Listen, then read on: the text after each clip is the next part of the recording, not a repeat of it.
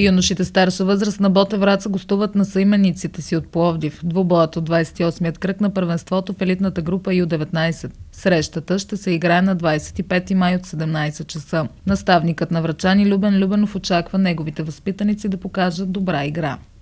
До края остават три мача останаха така силни отбори, Ботев, Поев, Черноморе, ЦСКА.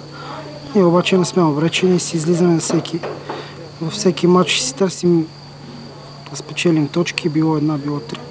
Отиваме и в Пловдив и си търсим нещо.